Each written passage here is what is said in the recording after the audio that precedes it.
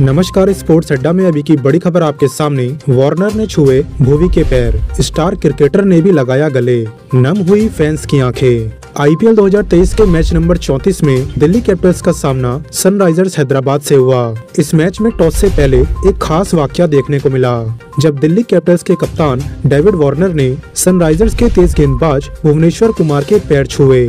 बाद में भुवनेश्वर कुमार ने भी डेविड वार्नर को गले से लगाया, जिसे देख फैंस भी भावुक हो गए।